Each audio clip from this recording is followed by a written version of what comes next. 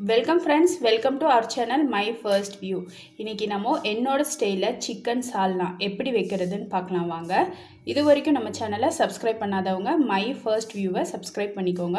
அப்போ தான் நம்ம செய்கிற டிஃப்ரெண்ட்டான ரெசிபீஸ் டக்கு டக்குன்னு உங்களோட நோட்டிஃபிகேஷனுக்கு வரும். வாங்க இப்போது எப்படி பண்ணுறதுன்னு பார்க்கலாம். இங்கே சிக்கன் பார்த்திங்கன்னா எலும்பு மட்டும்தான் இருக்குது ஒரு நூறு கிராம் அளவுக்கு சிக்கனோட எலும்பு வாங்கியிருக்கோம். அதில் இது ஏற்கனவே நம்ம கழுவி வச்சுருக்கோங்க சிக்கனை இதில் கொஞ்சமாக மஞ்சள் பொடி சேர்த்திக்கலாம். கூடவே உப்பு. சிக்கனோட எலும்பு வேக தேவையான அளவு தண்ணி. இப்போ இதை மூடி வச்சு ஒரு ரெண்டு விசில் மட்டும் விட்டுறலாங்க.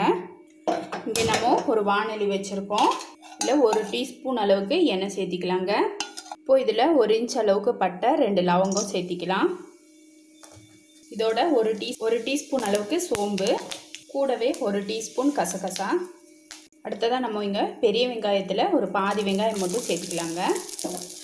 இது எல்லாத்தையும் நல்லா வறுத்துக்கலாம். இந்த வெங்காயம் பார்த்திங்கன்னா நிறம் மாறணும்.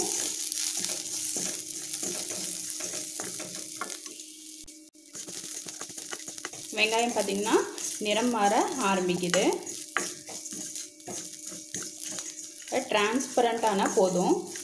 ரொம்ப பொன்னிறம் ஆகணும்னு அவசியம் இல்லை.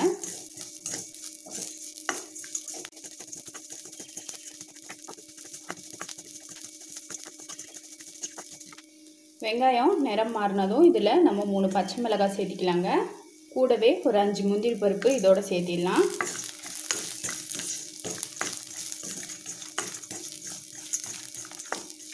அடுத்ததாக இதோட ஒரு கால் மூடி தேங்காவை பொடி பொடியாக கட் பண்ணி சேர்த்திக்கலாம். இந்த வெங்காயம் தேங்காய் பச்சை மிளகாய் இதெல்லாம் நல்லா வதங்கட்டும்.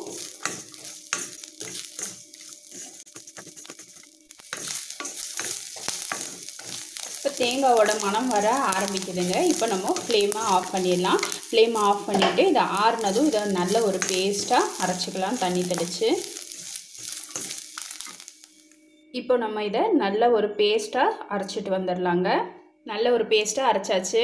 இப்போ திரும்பவும் கடாய் ஹீட் ஆனதும் ஒரு மூணு டேபிள் ஸ்பூன் அளவுக்கு எண்ணெய் சேர்த்திக்கலாம். எண்ணெய் சூடானதும் இதில் பட்டை லவங்கம் ரெண்டு கொஞ்சமாக சோம்பு பிரிஞ்சி இலை ஒன்று. அடுத்ததாக பொடியாக கட் பண்ண பெரிய வெங்காயம் ரெண்டு. அடுத்ததாக பச்சை மிளகாய் ரெண்டு. இப்போ இது எல்லாத்தையும் நல்லா வதக்கிக்கலாங்க.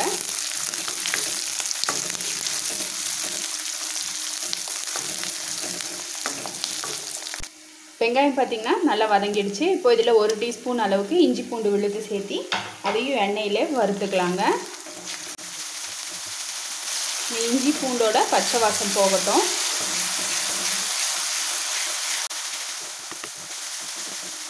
இப்போ இஞ்சி பூண்டோட பச்சை வாசம் போயிடுச்சு. அடுத்ததாக சும்மா கொஞ்சமாக ஒரு ஒரு பத்து பதினஞ்சு இலை மட்டும் புதினா இலை சேர்த்துக்கலாம். அதிகமாக வேண்டாம். சும்மா ரெண்டு குச்சி இருந்தால் கூட போதுங்க.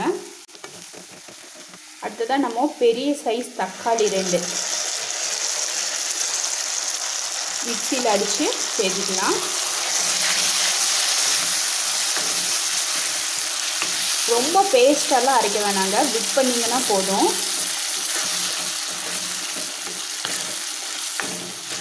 இந்த தக்காளி வந்து இந்த எண்ணெயிலேயே நல்லா வேகணும். இந்த எண்ணெயில் நல்லா பிரிஞ்சு வர்ற வரைக்கும் வேகட்டும்.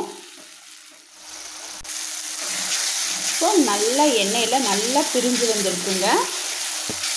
இப்போ இதில் நம்ம மிளகாய் பொடி மல்லிப்பொடி சிக்கன் மசாலா இது மூணையும் சேர்த்திடலாம். சேர்த்து எண்ணெயிலே நல்லா வதக்கிக்கணும். மிளகாய் பொடி பார்த்திங்கன்னா உங்கள் காரத்துக்கு ஏற்றாற் போல் சேர்த்திக்கோங்க. ஏன்னா நம்ம பச்சை மிளகாய் அரைச்சிருக்கோம். இது வெங்காயம் வதக்கும் போதும் ரெண்டு பச்சை மிளகாய் சேர்த்திருக்கோம். மிளகாய் பொடியெல்லாம் நல்லா வதக்கினதுக்கு அப்புறமா நம்ம அரைச்ச இந்த தேங்காய் விழுதை சேர்த்திக்கலாங்க. தேங்காய் விழுதை சேர்த்தி இதையும் நம்ம எண்ணெயிலே நல்லா வதக்கிக்கலாம். இந்த தேங்காவோட பச்சை வாசம் போகட்டும். ஆல்ரெடி நம்ம வதக்கி தான் அரைச்சிருக்கோம். மசாலா பார்த்திங்கன்னா இந்த எண்ணெயிலே நல்லா வதங்க விடணுங்க. வதங்க வதங்கவே பார்த்திங்கன்னா நமக்கு சால்னா வாசம் சூப்பராக வரும். இது போல் எண்ணெயெல்லாம் பிரிஞ்சு வரணும். கொஞ்சம் அடிப்பிடிக்கிற மாதிரி தான் இருக்கும். கொஞ்சம் கைவிடாது கிளறிட்டே இருந்தோன்னா இந்த எண்ணெயெல்லாம் நல்லா பிரிஞ்சு வரும். அந்த அளவுக்கு நல்லா இந்த மசாலாவை எண்ணெயிலேயே வதக்கிக்கணும். இது போல் எண்ணெயில் நல்லா பிரிஞ்சு வரணுங்க. பாத்திரத்தில் ஒட்டாது. வரணும். மசாலா நல்லா குக் ஆகிடுச்சு இப்போ மசாலாவிலேருந்து நல்லா எண்ணெயில் பிரிஞ்சு வந்துருச்சுங்க. நம்ம வேக வச்சோம் இல்லைங்களா சிக்கன் அதை வந்து இதோடு சேர்த்திடலாம். இப்போது நல்லா கலந்து விட்டுறலாங்க. கலந்து விட்டுட்டு ரொம்ப கொதிக்க விடணும்னு அவசியம் இல்லை. ஏன்னா மசாலா பார்த்திங்கன்னா நம்ம வறுத்து தான் அரைச்சோம். ரெண்டாவது நம்ம எண்ணெயில் மசாலாவை நல்லா வதக்கியிருக்கோம்.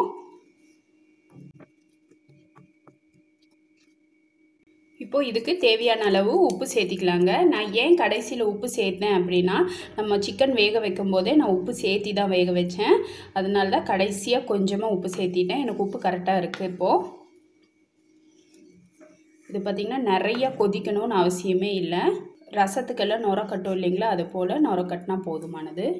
பார்த்திங்கன்னா நுர கட்ட ஆரம்பிக்குது. ரொம்ப கொதிக்கலாம் விட வேண்டாம். இப்போ நம்ம ஃப்ளேமை ஆஃப் பண்ணிடுறேன். கொத்தமல்லி தலையை கட் பண்ணி சேர்த்திடுறேங்க. அவ்வளோதாங்க. டேஸ்டியான சிக்கன் சால்னா தயாராகிடுச்சு நான் செய்த இந்த சிக்கன் சால்னா ரெசிபி உங்களுக்கு பிடிச்சிருந்தால் லைக் பண்ணுங்கள் ஷேர் பண்ணுங்கள் மறக்காமல் மை ஃபர்ஸ்ட் வியூக்கு சப்ஸ்கிரைப் பண்ணுங்கள் ஃப்ரெண்ட்ஸ். பெல் ஐக்கானோட ஆளுங்கிற ஆப்ஷனையும் கிளிக் பண்ண மறந்துடாதீங்க. இது வரைக்கும் வீடியோவை பொறுமையாக பார்த்ததுக்கு ரொம்ப ரொம்ப நன்றி ஃப்ரெண்ட்ஸ். தேங்க்யூ